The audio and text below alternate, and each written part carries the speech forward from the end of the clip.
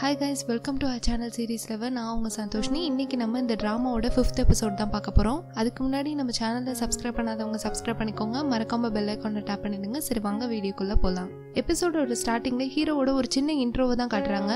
ஹரு இந்த ஸ்கூலுக்கு வரும்போது எதுக்காக இங்கே வந்திருக்கோம்? நம்ம யாரு? அப்படிங்கிற நிறைய கேள்வி இருந்திருக்கும். அதெல்லாம் தான் அந்த லைப்ரரியில் உட்காந்து யோசிச்சுட்டு இருப்பான் அந்த புக்கையும் பார்க்குறான். தானோவோட கேரக்டர் பார்க்கும்போது மட்டும் சம்திங் ஏதோ ஒரு விஷயம் இருக்கிற மாதிரி இவனுக்கு தோணுது. எப்படி தானோக்கு கிளாஸ் ரூம்ல இவனை பார்த்தா ஒரு மாதிரி ஸ்ட்ரேஞ்சான ஃபீலிங் இருந்ததோ அதே மாதிரி அந்த புக் இருந்த இடத்துல பிளாக் ஹோல் இருக்கிறதையும் பார்க்குறான். அது மட்டும் இல்லாமல் தேனும் அந்த பிரிட்ஜ்ல இருந்து ஒரு பிளாக் ஹோல் பார்ப்பா இல்லையா? அதை இவனும் நோட் பண்ணிடுவான். கிளாஸ் ரூம்ல அவளே பார்த்துட்டு இருக்கான். இவனோட பேரே தெரியாம இருக்கும்போது இவ மேலே ரொம்ப அக்கறையா இருக்கிறது ஏங்கிறது புரியாமலே இருக்கான். அதுக்கப்புறமா தான் இந்த சீன்லாம் நடந்திருக்கும். அவள் ஸ்டெப்ஸ்லேருந்து கீழே விழும்போது விழாம காப்பாத்துறது. அவளுக்கு எப்பப்பெல்லாம் பிரச்சனை வந்ததோ அப்பெல்லாம் போய் காப்பாத்துனது எல்லாமே அதுக்கப்புறம் தான் நடந்திருக்கும். இப்போ என்ன நடக்குது அப்படிங்கிறதையும் நம்மளுக்கு காட்டுறாங்க. பெக்கியோங் வந்து டேனோவை திட்டிகிட்டு இருக்கான். ஏன்னா அந்த டின்னருக்கு வந்திருக்க மாட்டா இல்லையா? அதுக்காக. ஹரு அங்கே வந்துட்டு பெக்கியோங் கூட சண்டை போட்டுட்டு டேனோவை கூட்டிட்டு போயிட்டு இருக்கான். நீ யாருன்னு கேட்டதோ அதை நான் சொன்னாலும் உனக்கு ஞாபகம் இருக்காது அப்படின்னு சொல்லி கூட்டிட்டு போயிட்டு இருக்கான். இந்த சண்டைலாம் முடிஞ்சு பெக்கியோங் வந்துட்டு இருக்கும்போது லீ அந்த இடத்துக்கு வரான். சும்மா இல்லாம அவன்கிட்ட போயிட்டு என்ன இப்படி ஃபுல்லா நனைஞ்சு வந்திருக்க? போன சீன்ல மழை பெஞ்சுதா? இந்த ரைட்டை ரொம்ப டார்ச்சர் பண்றான்ல. சுத்தி பாரு எல்லாமே ட்ரையா இருக்கும். ஆனா நீ மட்டும் எப்படி நனைஞ்சிருக்கன்னு பாரு. அது ஒன்றும் பிரச்சனை கிடையாது. அடுத்த சீன் வந்தாலே நீ நார்மல் ஆகிடுவேன் என்ன? நீ நம்ஜு ஜூடா உங்க மூணு பேருக்கும் என்ன நடக்குதுங்கிறது புரியாம இருக்கு. அப்படிங்கறத எனக்கு கொஞ்சம் கஷ்டமா இருக்கு. அப்படின்ட்டு சும்மா போனவன நல்லா கொலை போட்டுட்டு போயிட்டான். ஹருக்கு எல்லா விஷயமும் ஞாபகம் இருக்குங்கிறது தானுக்கு தெரிஞ்சிருச்சு இல்லையா? அதை பத்தி கேட்டுட்டு இருக்கா? பேஜை திருப்புற மாதிரி சவுண்ட் வரும் வேற வேற இடத்துல இருப்ப. அதே மாதிரி தான் உனக்கும் ஆச்சா அப்படின்னு கேட்டுட்டு இருக்கா? அதே மாதிரி தான் ஹருக்கும் நடந்திருக்கும். எப்பயில இந்த ஞாபகம் இருக்கு அப்படின்னு கேட்டா அதெல்லாம் தெரியல. ஆனா உன் கூட இருந்த எல்லா விஷயமும் ஞாபகம் இருக்கு அப்படின்னு சொல்லிட்டு இருக்கான். லீ நேராக அந்த கேன்டீனில் இருக்கிற பையனை பார்க்கறதுக்கு தான் வந்திருக்கான். ஐஸ்கிரீம் எல்லாம் கொடுத்து கரெக்ட் பண்ணுறான் எதுக்காகன்னா அந்த சீக்ரெட் புக்கை படிக்கணும் போல இருக்கு. அதுக்காக இவங்க ரெண்டு பேரும் பேசிட்டு இருக்கும்போது தான் ஒரு விஷயத்த காட்டுறாங்க. என்னன்னா இவனும் ஜூடாவும் ஒரு இடத்துல நின்று பேசிட்டு இருந்திருப்பாங்க. அதுக்கப்புறம் என்ன நடந்தது அப்படிங்கிறத நம்மளுக்கு காட்டியிருக்க மாட்டாங்க. இப்போதான் அது என்னங்கிறத காட்டுறாங்க. இவன் எனக்கு உன்னை பிடிச்சிருக்கு அப்படிங்கிறத சொல்லியிருந்திருப்பான். ஆனால் என்ன பிரயோஜனம்? எவ்வளோதான் இவகிட்ட ஷேடோவில் சொன்னாலும் ஒரு தடவை அவள் ஸ்டேஜ் போயிட்டு வந்துட்டானா எல்லாத்தையுமே மறந்துடுவா இல்லையா? அதை பற்றி புலம்பிட்டு இருக்கான். பத்தாததுக்கு இவனும் இங்க ரைட்ட சொல்றது மட்டும் தான் நடக்கும் ஸ்டேஜ்ல என்ன நடந்தாலும் சரி அதை ஷேடோ போகும்போது எல்லாருமே மறந்துடுவாங்க யாருக்கெல்லாம் கான்சியஸ்னஸ் இருக்கோ அவங்களுக்கு மட்டும்தான் ஷேடோவில் என்ன நடந்ததுன்னு ஞாபகம் இருக்கும் அப்படின்னு தெரிஞ்ச கதையை சொல்லிட்டு இருக்கான். இவன் எதார்த்தமாக புக்கு திருப்பி பார்க்கும்போது தான் தானோக்கு ரொம்ப உடம்பு சரியில்லாத விஷயமும் அவ இன்னும் கொஞ்ச நாளில் சாக போகிற விஷயமும் லீக்கு தெரியுது. அதை நினச்சி ஃபீல் பண்ணிட்டு இருக்கான். ஆனால் இங்கே தானோ ஹருக்கு எல்லா விஷயமும் ஞாபகம் இருக்குங்கிறத நினச்சி ஜாலியாக ஆடிட்டு இருப்பான். அந்த நேரம் பார்த்து ஸ்டேஜ் ஆரம்பிச்சிருது. போன சீனில் பெக்கியோங்க இவளோட வாட்சை தூக்கி போட்டு உடச்சிருந்துருப்பான். அதுக்கு சாரி கேட்டுட்டு புது வாட்ச் வாங்கிட்டு வந்து கொடுக்குறான்.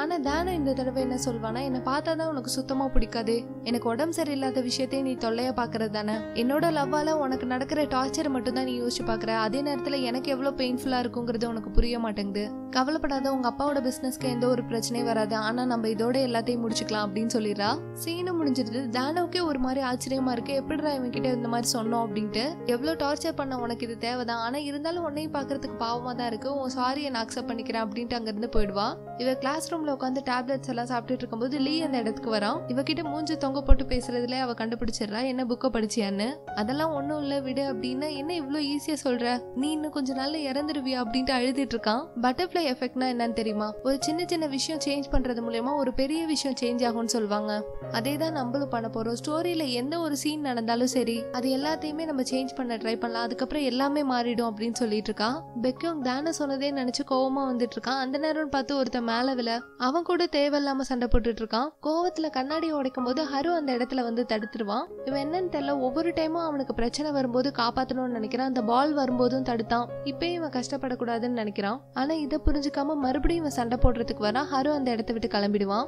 நைட்டு தானு ஹீரோ கூட இருந்த மெமரிஸ் எல்லாம் யோசிச்சுட்டு இருக்கா. யோசிக்க கூடாதுன்னு நினைக்கிறான் ஆனா அவளாலே கண்ட்ரோல் பண்ண முடியல. அதே மாதிரி தான் ஹருவும் தானவை பத்தி யோசிச்சுட்டு இருக்கான். அடுத்த நாள் மார்னிங் கிளாஸ்ல ஹீரோவோட டேபிளே பார்த்துட்டு நிக்கிறா. கரெக்டா அவனும் பின்னாடி வந்துருவான். ரெண்டு பேரும் ஒன்னா பேசிட்டு இருக்காங்க. தானோக்கு ஒரு டவுட் ஹருக்கு எந்த அளவுக்கு நம்மள ஞாபகம் இருக்கும் அப்படிங்கறது தெரிஞ்சுக்கணும்னு நினைக்கிறா? அந்த நேரம் பார்த்து ஹரு உனக்கு எந்த அளவுக்கு எனக்கு ஞாபகம் இருக்கு அப்படின்ட்டு தானோ கிட்ட கேக்குறான் எனக்கு எனக்கெல்லாம் ஒண்ணு ஞாபகம் இல்லையே அப்படின்னு நடிக்கிறா. இப்பவும் இந்த இடம் குளிரா இருக்க போல இருக்கு. இதை கேட்டதுமே ஹரு வந்து ட்ரெஸ்ஸை கழட்ட பாக்குறான் உடனே தானோ வந்துட்டு அங்க நடந்தது வர இங்கெல்லாம் அப்படி பண்ணக்கூடாது அப்படின்னு சொன்னது இவனுக்கு தெரிஞ்சிருது. இவளுக்கு எல்லாமே ஞாபகம் இருக்கு அப்படிங்கிறது. தானோட ஃப்ரெண்ட்ஸ் ரெண்டு பேரும் வராங்க. ஹரு இப்பதான் அவனை பத்தி இன்ட்ரோ கொடுக்குறான் இவ்வளவு நாள் நம்ஜு தான் வந்து ஹேண்ட்ஸமான பையன் சொல்லிட்டு இருந்தவ ஹருவை பார்த்தோன்னே ஃபிளாட் ஆயிடுவா. வா. இதெல்லாம் முடிஞ்சு கேன்டீனுக்கு போனா அங்கதான் ஏகப்பட்ட கும்பல் நிக்குமே. ஹரு எவ்வளவுதான் ட்ரை பண்ணாலும் உள்ளார போகவே முடியல. நீ சின்ன பையன் உனக்கு எதுவும் தெரியாது. இப்ப பாரு நான் என்ன பண்றேன் அப்படின்னு எல்லாரையும் அடிச்சு தள்ளிட்டு போயிட்டு இருக்கா எப்படி இதெல்லாம் கத்துக்கிட்ட அப்படின்னு கேட்டதும் இதெல்லாம் ஒரு நாள்ல கத்துக்கிற விஷயம் கிடையாது. நான்லாம் எவ்வளவு நாள் கஷ்டப்பட்டிருக்கேன் தெரியுமா? என்னோட பழைய லைஃப் எல்லாம் யோசிச்சு பார்க்கும்போது இப்பயுமே கொடுமையா இருக்கு அப்படின்னு பேசிட்டு இருக்கா அந்த இடத்துல நம்ஜுக்கும் ஜூடாக்கும் ஒரு ஸ்டேஜ் நடக்குது. நம்ஜுவோட ஸ்கூல் யூனிஃபார்முக்கு தேவையான காசெல்லாம் ரெடி பண்ணிட்டாப்ல இருக்கு. அதை கொடுத்துட்டு இதுக்கு மேல நான் உன் பேக தூக்கணும்னு அவசியம் கிடையாது. ஆனா நம்ம ரெண்டு பேரும் நல்ல ஒரு ஃப்ரெண்ட்ஸா இருக்கலாம் அப்படின்னு பேசிட்டு இருக்கா? தானவும் ஹரு கிட்ட இவங்க ரெண்டு பேரும் தான் மெயின் கேரக்டர் பாத்தியா எவ்வளவு மொக்கையான ஒரு சீன் நடந்துட்டு இருக்கு. இந்த ரைட்டருக்கு கொஞ்சம் கூட கிரியேட்டிவிட்டி இல்லப்பா அப்படின்னு புலம்பிட்டு இருக்கா? அந்த இடத்துக்கு லீவ் வரா இந்த பையனை தேடுறதுக்கு தான் எல்லாரும் முதுகுலையும் சாஞ்சிட்டு இருந்தியா? அப்படி என்ன இவன் முதுகுல ஸ்பெஷலா இருக்கு அப்படின்னு தொட்டு பார்த்துட்டு இருக்கான்? இதை டேனோ பார்த்துட்டு கொஞ்ச நேரம் அமைதியா இருக்கே அப்படின்னதும் அவனுக்கு தான் எதுவும் ஞாபகம் இருக்காதுல விடு அப்படின்னு சொல்லிட்டு இருக்கான். நானும் இப்போ தான் ஹருவை பற்றின விஷயம் எல்லாத்தையும் சொல்றா. அதே நேரத்தில் லீ இந்த கதையில யாரு அப்படிங்கிற விஷயத்தையும் ஹரு கிட்ட எக்ஸ்பிளைன் பண்றா. இப்போ மூணு பேரும் குரூப்பா சேர்ந்துட்டாங்க. ஹரு கிட்ட ஸ்டேஜ்னா என்ன ஷேடோனா என்ன? அதுக்கப்புறம் நம்ம ஷேடோவில் இருந்து சின்ன சின்ன விஷயமா மாற்றி ஸ்டோரி எப்படி சேஞ்ச் பண்ணோம் அப்படின்ட்டு எல்லாத்தையும் சொல்லி கொடுத்துட்டு இருக்காங்க. இவன் அந்த பொம்மையெல்லாம் தொட்டு பார்த்துட்டு இருக்கும்போது ஹருக்கு கை வலிக்க ஆரம்பிக்குது. எனக்கு தேவையில்லாத விஷயத்த தொட்டா இந்த மாதிரி தான் ஆகும் அப்படின்ட்டு அந்த கேன்டீனில் இருக்கிற பையன் சொல்லிட்டு இருக்கான். தானா அவன் கிட்ட இந்த கதைப்படி பார்த்தா நான் பெக்கவங்க பத்து வருஷமா லவ் பண்றேன். ஆனா எப்படி திடீர்னு அவன் மேல கோவப்படுற மாதிரி பேசுறேன் ஒருவேளை கதை உண்மையிலே மாறிடுச்சா? அப்படின்னு கேட்டுட்டு இருக்கா. இவனுக்கு தெரிஞ்சிருச்சு நீங்க கதையை மாத்த ட்ரை பண்றதுனால தான் இந்த மாதிரிலாம் நடக்குது. நான் உன்கிட்ட அப்பவே சொன்னேன் இப்பயும் நீ என் பேச்சை கேட்கலன்னா இன்னும் மோசமாகும் நிலமை அப்படின்னு பயமுடுத்திட்டு இருக்கான். இவ இதை கேட்டுட்டு அப்ப நான் சாகிறத வேடிக்கை பார்க்கணும்னு சொல்றியா? எனக்கு பிடிச்ச மாதிரி லைஃபை மாத்திக்கிறதுக்கு எனக்கு எல்லா உரிமையும் இருக்கு. யார் என்ன சொன்னாலும் சரி நான் கதையை மாத்த தான் போறேன் அப்படின்ட்டு அங்கிருந்து கிளம்பிடுவா. தானவும் ஹருவும் பேசிட்டு வர்றத பெக்கும் பாத்துறான் ஹரு கிட்ட வந்துட்டு நீ யாரு? எதுக்கு தேவையில்லாம பேசிட்டு இருக்க? அப்படின்னதும் அது நான் சொன்னாலும் சீன் மாறிடுச்சுன்னா எல்லாமே மறந்துடும் உனக்கு அப்படின்ட்டு லீ சொன்ன மாதிரியே இவனும் சொல்றான். இதை கேட்டதுமே பெக்கியும் கடுப்பாயிடுவான். ஒருத்தனாவது புரியுற மாதிரி பேசுறீங்களா அப்படின்ட்டு. ஆனா இவன் எதுவுமே சொல்லாம அந்த இடத்த விட்டு கிளம்பிடுவான். இப்ப அந்த கேன்டீன்ல இருக்கிற பையனை கட்டுறாங்க. அவன் வேற ஒரு புக்கை படிச்சிட்டு இருக்கான். இந்த புக்கோட நேம் வந்து ஃப்ளவர்னு போட்டிருக்கு. அந்த இடத்துல ஏதோ ஒரு சவுண்டு கேட்குற மாதிரி இருக்கு. இவன் என்னன்னு பார்த்தா தான் தெரியுது. தானோ சொன்ன மாதிரி அந்த புக் இருந்த இடத்துல அங்க ஒரு பிளாக் ஹோல் இருக்குது. அதை பார்த்ததுமே ஹருவை பார்க்கறதுக்காக நேரா வந்துட்டு இருக்கான். அவன்கிட்ட அவன் வரைஞ்ச டிராயிங்கை காட்டுறான். ஆக்சுவலாக என்ன நடக்குதுன்னா ஹருவுக்கு ஒரு பாஸ்ட் இருக்கிற மாதிரி அவன் நம்புறான். அதனாலதான் தானோவை பார்க்கும்போது ஒரு ஸ்டேஞ்சான ஃபீலிங்காக இருக்கு. அவனுக்கு அவன் யாருங்கிறத தெரிஞ்சுக்கணும்னு ஆசைப்படுறான். இந்த கேன்டீன்ல இருக்கிற பையனுக்கும் இவனை பத்தி தெரிஞ்சிருக்கு போல இருக்கு. ஆனால் கேட்ட சொல்ல மாட்டேங்கிறான். நீ சொல்ல மாட்டேன்னு நினைக்கிறேன். நானே என்னை பத்தி தெரிஞ்சுக்கிறேன் அப்படின்ட்டு அங்கேருந்து கிளம்ப பார்க்குறான் அதுக்கு இவன் என்ன சொல்வான்னா நீ உன்னை பத்தி தெரிஞ்சுக்க ஆசைப்பட்டு இந்த ஸ்டோரியை சேஞ்ச் பண்ணிட்டே இருந்தனா உன் கையில இருக்கிற காயத்தோட வலி அதிகமாயிட்டே இருக்கும். உன் நல்லதுக்கு தான் சொல்றேன். தானோவை இதோட ஸ்டாப் பண்ணு அப்படின்ட்டு அங்கேருந்து கிளம்பிடுவான். இப்போ அடுத்த நாள் மார்னிங் என்ன நடக்குதுங்கிறத காட்டுறாங்க. யாரோ ஒரு பழைய ஆக்ட்ரஸ் வந்து அந்த ஸ்கூலுக்கு வர போறாங்களாம். அவங்கள பாக்குறதுக்காக ஒரு கும்பலே வந்து நிக்குது. அதுல நம்ம தானவும் இருக்கா? ஹருவை கூட்டிட்டு வந்துட்டு எக்ஸ்ட்ரா கேரக்டர்னா இப்படிதான் கத்தணும் அப்படின்ட்டு அவனுக்கு கத்து கொடுத்துட்டு இருக்கா. இப்ப வர்றது வேற யாரும் இல்ல. நம்ஜோட அம்மா தான் வராங்க. அவங்கள பார்த்ததுமே இவளுக்கு ஒரு மாதிரியா இருக்கு. இதை தானவும் நோட் பண்ணிடுவா. நம்ஜோட ஃபேமிலியும் ரொம்ப ரிச்சானவங்க அவங்க ஸ்கூல் தான் இது. இந்த ஸ்கூலோட ஸ்காலர்ஷிப்ல தான் ஜூடா அங்க படிப்பா. இப்ப ரீசெண்டா ஒரு கேம்ப் போனாங்களே அது வேற ஒரு கண்ட்ரிக்கு தான் பிளான் பண்ணியிருந்திருப்பாங்க. ஆனா நம்ஜோ தான் வந்து நம்ம கண்ட்ரிக்குள்ளேயே போயிட்டு வரலாம் அப்படின்னு சொல்லியிருந்திருப்பான். ஜூடாக்காக இந்த மாதிரி பிளானை சேஞ்ச் பண்ணியிருந்திருப்பான் போல இருக்கு. அதை பத்தி தான் இவங்க ரெண்டு பேரும் பேசிட்டு இருக்காங்க. நம்ஜு என்ன பண்ணாலும் கரெக்டாக தான் இருக்கும். அவங்க அண்ணனை மாதிரியே அப்படின்ட்டு பிரின்சிபல் சொல்லிட்டு இருக்காரு இதை கேட்டதுமே அவங்க அப்பா நம்ஜுவோட அண்ணன் வந்து ரொம்ப ஸ்மார்ட்டானவன் எனக்கு அடுத்தது பிசினஸ் எடுத்து நடத்த போறதே அவன் தான் அப்படின்னு சொன்னது நம்ஜுவோட அம்மா மூஞ்சே மாறிடுது. இன்னும் கொஞ்ச நாள்ல நம்ஜோட பர்த்டே வேற வரப்போகுது போல இருக்கு. அதுக்காக ஸ்கூல்ல ஏதாவது ரெடி பண்ணலாமா அப்படின்னு கேட்டதும் இல்ல அதெல்லாம் வேணாம். வீட்லயே ஒரு சின்ன பார்ட்டியா வச்சிருக்கோம் அப்படின்ற மாதிரி அவங்க அம்மா சொல்றாங்க. அப்படியே கிளாஸ் ரூம்ல என்ன நடக்குதுங்கிறத காட்டுறாங்க. ஜூடா புக்கை தூக்க முடியாம வந்துட்டு இருக்கும்போது லீ அவளுக்கு வந்து ஹெல்ப் பண்றான். நீ ஒரு விஷயத்த மறந்துட்ட அப்படின்னா என்ன? அப்படின்னு கேட்டதும் ஒரு ரெக்கையை மறந்துட்ட நீ எனக்கு ஒரு கார்டியன் ஏஞ்சல் அப்படின்னு சொல்லிட்டு இருக்கா. இதை வேற தானோ பார்த்துட்டு இதெல்லாம் ஒரு சீனா பாவம் லீ. இன்னும் எவ்வளவு கஷ்டப்பட போறானோ. ஹரு அதுக்கு அவன் எல்லா சீன்லயுமே அவன் நினைச்ச மாதிரி ஜூடா கூட இருக்கான். ஆனா என்னாலதான் உன் கூட அப்படி இருக்க முடியாது அப்படின்னு பேசிட்டு இருக்கான். இதெல்லாம் முடிஞ்சு இவங்க ரெண்டு பேரும் மாடியில உட்காந்து பேசிட்டு இருக்காங்க. இப்ப நடக்கிறதும் சீன் தான். இவங்க பேசுறத வேற நம்ஜு பாத்துறான். ஓ இவன் கூட பேசுறதுக்காக தான் என் கூட ஃப்ரெண்டா இருக்கேன்னு சொன்னியா? இதுக்கு மேல இந்த இடம் எப்பொழுதுமே க்ளோஸ் பண்ணி தான் இருக்க போகுது அப்படின்ட்டு அங்கிருந்து கோவமா கிளம்பிடுவான். லீக்கு நம்ஜு கூட சண்டை போடணும்னு தோணுது? ஆனா எதுவுமே பண்ண முடியாம நின்றுட்டு இருக்கான். ஜூடா வேற நம்ஜு கிட்ட சாரி கேட்டுட்டே வந்துட்டு இருக்கா. இத நம்ஜோட அம்மாவும் பாத்துருவாங்க. நான் சொல்றத கேளு எதுக்காக இப்படி கோவப்படுற அப்படின்னு கேட்டதும் உனக்கு இன்னமும் புரியல நான் ஏன் கோவப்படுறேன்னு? உன் ஃப்ரெண்டு கூடயே பேசு நான் கிளம்புறேன் அப்படின்ட்டு இவங்க ரெண்டு பேரும் இங்க சண்டை போட்டுட்டு இருக்காங்க. இத மேல இருந்து லீயும் ஹருவும் பார்த்துட்டு தான் இருக்காங்க. நடக்கிறது ஸ்டோரி தான் தெரியாம எவ்வளவு சீரியஸா சண்டை போட்டுட்டு இருக்காங்க பாரு. எனக்கு ஜூடாவை நினைச்சாதான் ரொம்ப கஷ்டமா இருக்கு அப்படின்னு பேசிட்டு இருக்கான். அதே நேரத்தில் கிளாஸ் ரூமை கட்டுறவங்க எல்லாரும் ஃபோனு கையுமாவே தெரிஞ்சிட்டு இருக்காங்க எதுக்காகனா நம்ஜோட பர்த்டேக்கு க்ளோஸா இருக்கிறவங்களுக்கு மட்டும்தான் இன்விடேஷன் அனுப்ப போறாங்க. அது யாருக்கு வரப்போகுதுன்னு தான் எல்லாருமே ஆர்வமா பார்த்துட்டு இருக்காங்க இந்த கண்ணாடி போட்ட பையன் இருக்கான் இல்லையா அவனுக்கு அந்த இன்விடேஷன் வந்துருச்சு போல இருக்கு. எல்லாத்துக்கிட்டே காட்டிட்டு வெறுப்பேத்திட்டு இருக்கான் இப்படி நடந்துட்டு இருக்கும்போது தானோக்கு மறுபடியும் ஒரு இலூஷன் வருது. இப்போ என்ன நடக்குதுன்னா எல்லாருமே அந்த பார்ட்டியில கலந்துக்கிறாங்க. நம்ஜுவும் ஜூடாக்காக ஒரு கிஃப்ட் கொடுக்குறான்.